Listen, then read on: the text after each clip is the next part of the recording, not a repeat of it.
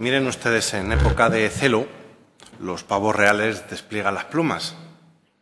Estos son las leyes de la naturaleza que también las cumplen ustedes, los señores de la derecha, que cuando llegan a las instituciones lo primero que hacen es, como los pavos reales, desplegar las banderas y ponerlas por todos los, los rincones. Tras recibir esta moción presentada por el Grupo Municipal Vox, en el que se solicita ubicación permanente a nuestra enseña nacional, la bandera. ¿De verdad?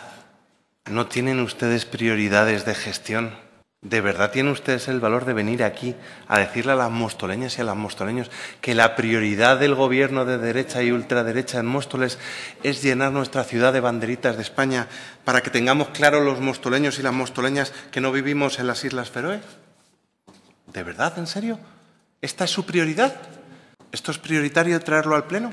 Con la de problemas sociales que hay, con la de problemas que vivimos en la sociedad, y ustedes su prioridad es la bandera de España. Porque miren ustedes, hay países donde está prohibido sacar la bandera en manifestaciones contra el gobierno. Y está prohibido porque es utilizar la bandera de todos y de todas contra algo, contra alguien, y la bandera no se utiliza contra nadie.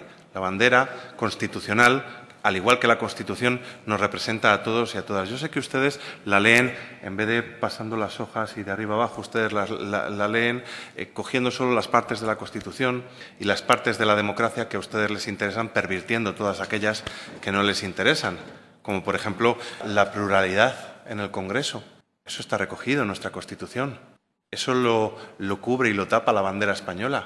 ¿Por qué ustedes eso no lo aceptan y tiran los, los pinganillos? La igualdad que cada vez que ustedes escuchan la palabra igualdad se les ponen los pelos de punta y se erizan. Oh, señora Divason, usted que cobra un sueldo nada considerable por dedicarse a la Junta de Distrito 2, eh, ya que le importan tanto las banderas, esto es una foto de ayer por la tarde, donde podemos ver la bandera de la Comunidad de Madrid, la bandera de España, pero la bandera de Móstoles, de nuestra ciudad, en la que vivimos nosotros, pues no está. No sé si es que usted quiere ponerla de Pozuelo o eh, no sé qué bandera querrá poner, pero la bandera de Móstoles, a los mostoleños, sí nos importa. Lo digo para que en ese poquito trabajo que tiene usted allí en la Junta de Distrito, por lo menos se ponga a hacerlo. Con la bandera tenemos un problema. La bandera tiene que ser el abrigo de la igualdad. La bandera tiene que ser el abrigo de los desprotegidos, de las mujeres, de los hombres. La bandera tiene que ser el abrigo de las políticas sociales. La bandera tiene que ser el abrigo de los derechos civiles, de los derechos sociales, de los derechos laborales. Tiene que ser el abrigo de todos y de todas. Para eso sirve la bandera. Y ustedes quieren pervertirla, porque miren, si la gente más indeseable de nuestro país se apropia de la bandera, es muy difícil que nos abrigue a todos.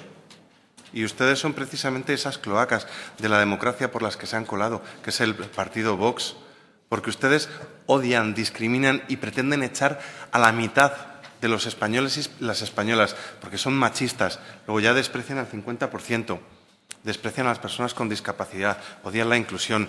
Ustedes tienen el pensamiento único de aquellas personas que no piensan como ustedes. Ustedes borran de las programaciones culturales todo aquello que no entra en su ideario y han borrado programaciones como educación sexual, como la igualdad, como estar en contra de la violencia de género, todo eso lo arropa nuestra bandera.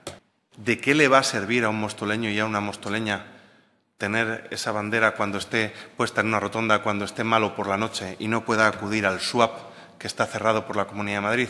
¿Le vamos a abrigar con esa bandera a aquellas mujeres víctimas de violencia de género? ¿Las vamos a calmar y las vamos a tapar?